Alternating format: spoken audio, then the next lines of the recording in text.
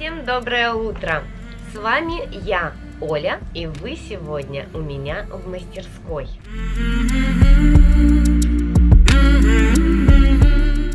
Так, сегодня 12 февраля, понедельник. А что это значит?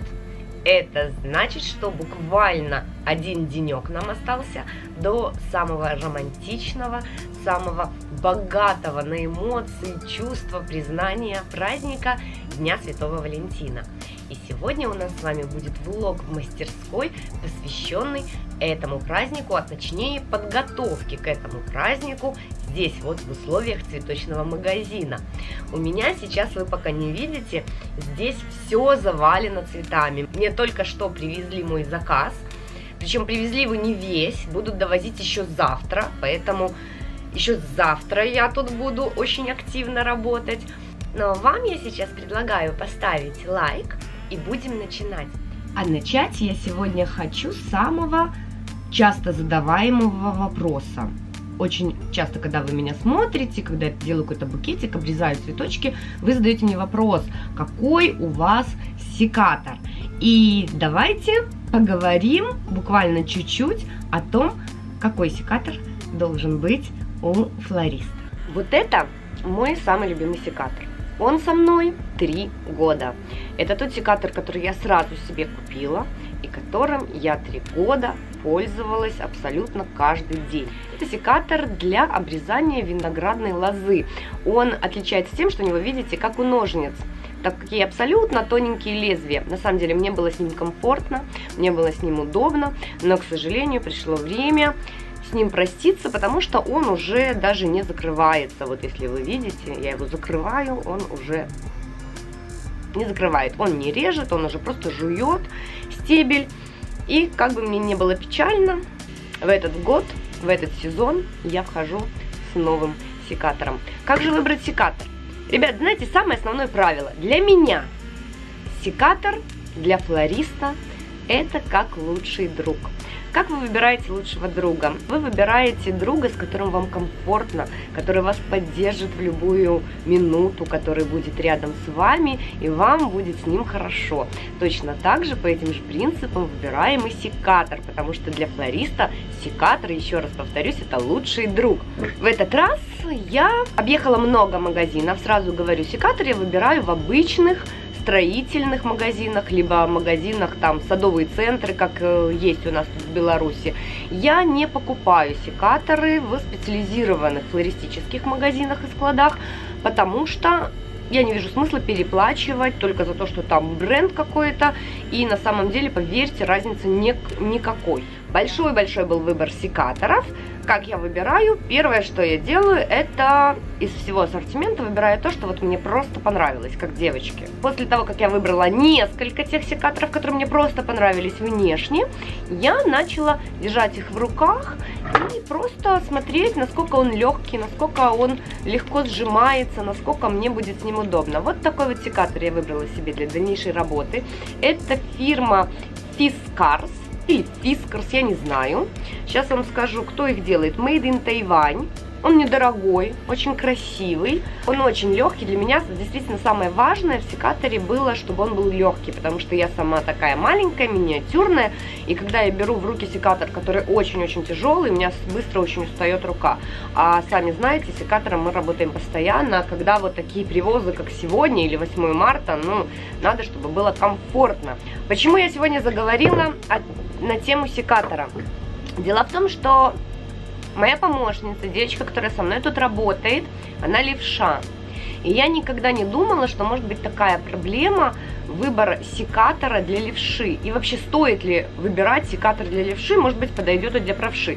На самом деле, ребят, особенно для владельцев бизнеса, пожалуйста, э, имейте в виду, что нельзя ни в коем случае, чтобы обычным вот таким вот секатором пользовались и левша, и правша. Вы по-разному держите э, этот секатор в руках, и у вас просто изогнется лезвие, и вы просто не сможете дальше с ним работать. Произойдет это очень быстро, и вы просто выбросите его. И это очень обидно. Поэтому я изучила этот вопрос. Мне было интересно, есть ли секаторы именно для левшей. И вы знаете, они есть. И я нашла. И я также приобрела такой же секатор. Это та же самая фирма Fiskars. Очень-очень легкий. Также вот здесь у нас есть этот стопер. И спокойненько можно им, он хорошо пружинит очень. Еще раз повторю, подбирайте обязательно секатор под руку. Это важно, иначе вы просто будете все время их менять. А, что по цене, вот эти секаторы были по 27 рублей белорусских, то есть и один, и второй. Соответственно, чтобы вам было понятнее, давайте сейчас переведу в доллары, это где-то 13,5 долларов. Ну, а дальше вы уже по своему курсу считайте и приблизительно будете понимать, сколько они стоят.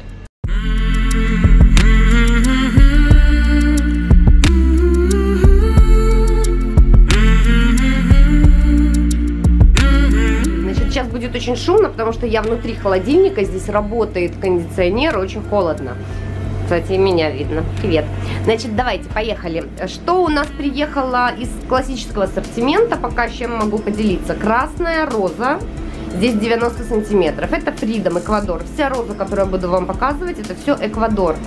Далее два вида Мандиаль. Это белая Мандиаль и Pink Mondial, обожаю ее, она очень редко бывает на складах, но посмотрите, какая у нее шикарная расцветка. Само собой, Эсперанца приехала моя любимая, ну она розовая, нежная, по-моему на 14 февраля она подойдет. Палома, я правда хотела Sweetness, но Sweetness не приехал, я думаю, что еще на другом складе я успею съездить подобрать.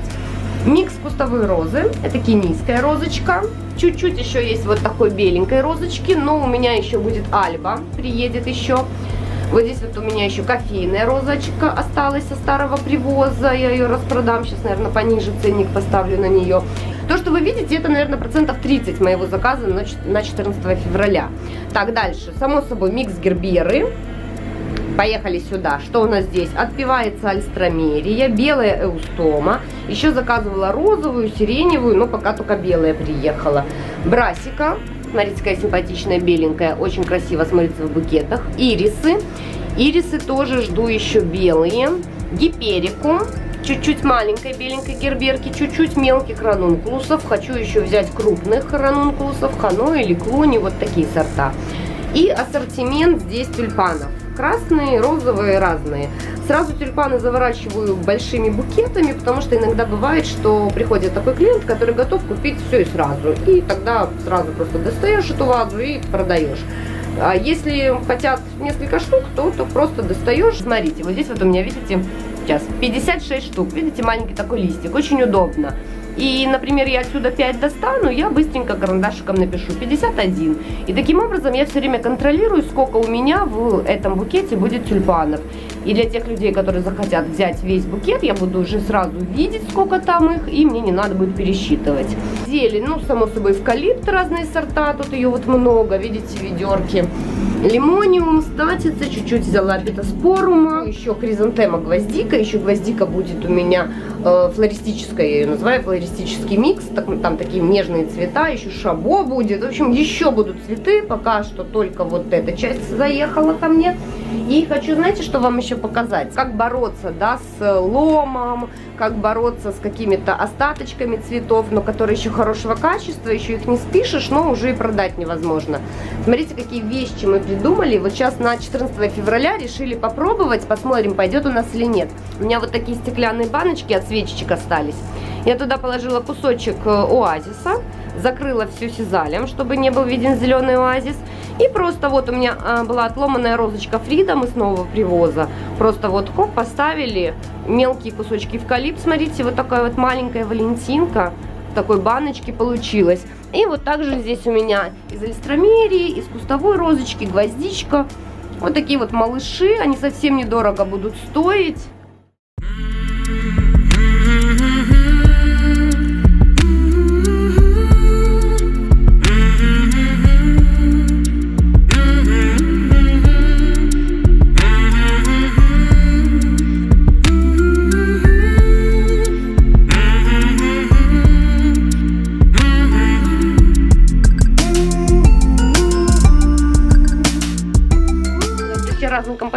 Делала, но вот такие именно мини-валентинки, вот какие-то такие малыши, пока еще их не было. Что вам еще рассказать?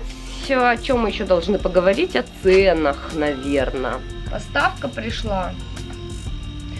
по таким ценам, что я даже не знаю, как вот сейчас расценивать товар. То есть э, наценку стандартную для цветочного магазина я уже давно не ставлю, я уже давно пытаюсь снизить. Сейчас, так я даже не знаю вообще, как наценивать, потому что если ставить нормальную наценку, то я никогда в жизни не продам ни один цветок. Очень это коснулось хризантемы розы, то есть те цветы, которые я там привозила, грубо говоря, допустим, да, по рублю, сейчас пришли по 2 рубля. Очень, очень, очень для меня это болезненно, потому что у меня клиент привык к определенному уровню цен, и делать сейчас такой резкий скачок я тоже не хочу, потому что воспринимают как, что это мы, цветочники, цены поднимаем на праздники, но на самом деле мы здесь вообще не виноваты. Очень сильно поднялись цены в Голландии, как я знаю, на аукционах на этот период, и в том числе возросли очень сильно тарифы на транспортные услуги. То есть транспортники, логистические компании тоже решили воспользоваться этими праздниками и увеличили свои коэффициенты. Ну и, соответственно, все это и потянуло очень сильное увеличение цены. Я совсем уже замучилась сегодня. Так, что еще хотела вам рассказать? Значит, давайте немножечко поговорим на очень болезненный вопрос о снижении затрат, как вообще избежать, как снизить списание цветочков. Значит, смотрите, здесь какой нюанс. Конечно же, самое идеальное все продать. Продать сразу, продать все, пока все свежее, с нормальной наценкой, правильно? Следующий момент, если мы видим, что не продается, а цветочек, время идет, и он, вы сами знаете, лучше не становится со временем, Следовательно, второй момент. Рассказываю по своему опыту, как я делаю. Уценяем цветок. Вплоть до минимума. Кто-то по грустному поводу порой ищет цветок какой-то получше, чем гвоздика, то есть какую-то розу интересную, но не готов платить за нее цену выше, чем за гвоздику. В этом случае спасает нас уценка, и мы таким образом, опять же, не списываем, то есть не выкидываем цветок, но его чуть-чуть еще хотя бы с него какую-то денежку имеем. Третий способ, когда я вижу, что у меня цветок даже в уцененном состоянии не продается, я его засушиваю.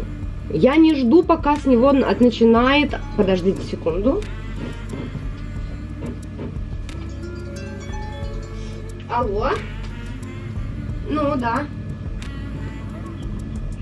Понравилось? Все нормально? Ну вот, видишь, а то я все переживала сильно. Все супер. Ну, спасибо, приятно очень, спасибо. Ну, спасибо, что позвонил. Хорошо, да, давай, пока-пока. Знаете, когда мне только что звонил, это звонил клиент, который у меня заказывал композицию сухоцветом. Видите, я вам сейчас как раз рассказываю про то, что я засушиваю цветочек. И потом, да, я потом делаю разные композиции, букетики, и они у нас тут продаются. Вот, в принципе, я и рассказала. Я хотела отдельно рассказать вам про то, что я засушиваю цветы, потом плавно перейти на эти композиции, а тут в итоге, видите, произошел звонок, и я сразу вам все рассказала. В принципе, вот, могу больше ничего не говорить.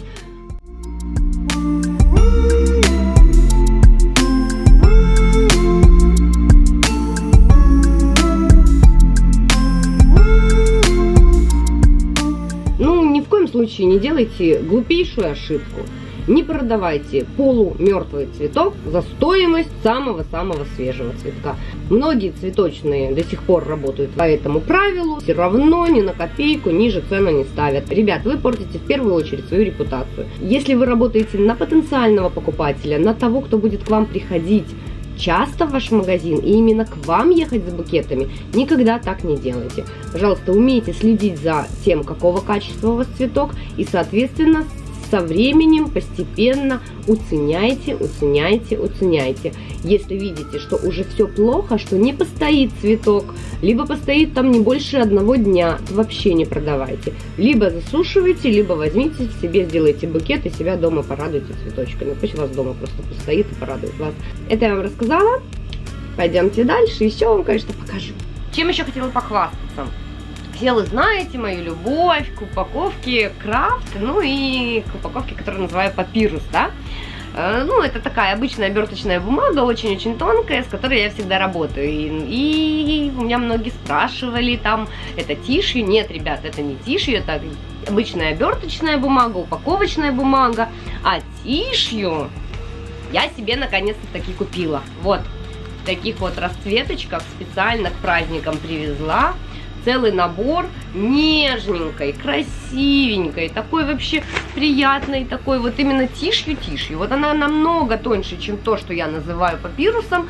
Буду заполнять внутри букет, когда буду оформлять. Возможно, как-нибудь вам покажу. Сегодня никаких букетов я не делала. Мне хватило вот этого холодильника и чистки его. Но и это еще не все. Я еще решила похвастаться, потому что наконец-то моя мечта, мечта флориста исполнилась. И я нашла корейскую упаковку. Пока выбрала такие, давайте вам покажу такие, видите, оттеночки пастельные, такой вот цвет Тифани, пудровая такая розочка, просто холодный розовый оттенок, нежно-нежно-желтенький. Потом вот такой вот беленький с зигзагами, не знаю, насколько вам тут видно, темно-серый выбрала и светло-серый, потому что я люблю, когда какой-то букет э, яркий, упакован в темную упаковку, он тогда более контрастный становится. И еще мой любимый сиреневый. Рассказала, похвасталась. Надеюсь, вам это тоже было интересно, потому что меня периодически спрашивают про упаковку. Что еще вам рассказать? Я недавно не снимала влоги в мастерской. А, давайте вам покажу еще. Ну, вы видели, я там зайчика вам снимала видео, которого я связала, да, девочку. Очень приятно, что вы ставите лайки, что вы меня так поддерживаете, потому что для меня, я не знаю почему, я просто влюбилась в этих заек. Я уже вижу третьего. Скоро вам покажу видео про второго зайку. Мне очень хочется поделиться с вами. Меня прямо вот переполняет вообще гордость за саму себя, что я их наконец-то делаю, что у меня они получаются. Но хотела вам показать 14 февраля еще что я сделала. Я вам, по-моему, не показывала. Так, мельком видео вы могли видеть. Вот таких сердечек я сделала на День Святого Валентина. Здесь английский хлопок я заказываю через ярмарку мастеров. Выкройку сама рисовала. Просто нарисовала сердечко и все. Все взяли, перевели на ткань, ткань пополам разрезали, чтобы сделать вот именно один верх такой, низ такой. Спинка вообще из третьего вида ткани, да. Все это прошивалось, все это вручную, нашивались кружавчики, бантики, вот такие вот подвесочки, хендмейд. Также делала ленточку, можно повесить на букетик, можно как брелочек подарить. Ну, мне очень нравится. Я бы себе такое сердечко купила бы, я думаю, мне бы было приятно, если бы мне такое подарили. Вот то, что осталось, давайте вам покажу. Вот такой вот зелененький с ангелочком. Ой, вот. Давай, фокусируйся, камера. Вот такие вот сиреневенькие есть, видите, с котиком. Все они, абсолютно все они с подвесочками.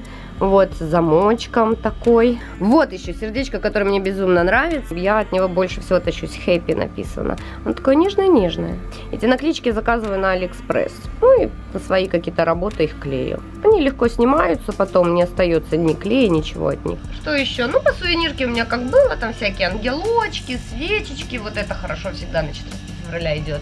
Вот зайчиков же я вот тут вот нашила, навязала. Цветочки вам пока показала, еще завтра буду довозить. Хочу, хочу ранункулусов привезти, возможно, пионы привезу, матиолу хочу привезти. Знаю, что на один склад она приехала, я сегодня посмотрела. Вот, думаю, завтра поеду, поеду еще довезу, потому что этого, конечно, очень-очень мало. Я уже так заработала, что даже не знаю, сколько время. Пол шестого, я работаю сегодня тут до семи, хотя, наверное, до восьми чуть-чуть побуду. Сейчас сяду, помонтирую это видео, что я вам сегодня снимала. Надеюсь, вам было интересно, надеюсь, не скучно. Возможно, вы узнали что-то новое. Напомню, с вами была Оля. Вы были со мной у меня в мастерской. Я готовлюсь к 14 февраля. Меня ждут очень активные, плодотворные рабочие дни. Поэтому желаю себе успеха, желаю вам успеха. И пусть у нас с вами все получится, пусть эти дни пройдут просто вот так вот, вот так вот классно. И на этом, наверное, все. Не забывайте ставить лайк подписываться на мой канал, нажимать на колокольчик, чтобы не пропустить каждое новое видео. Очень вас всех люблю, с наступающими вас праздниками. И, кстати, сегодня начинается масленичная неделя, поэтому не забывайте, что на этой неделе надо есть много-много блинов и ходить друг к другу в гости. После 14 февраля я именно так и поступлю. Пойду к кому-нибудь в гости кушать блины. Все, пока-пока-пока-пока.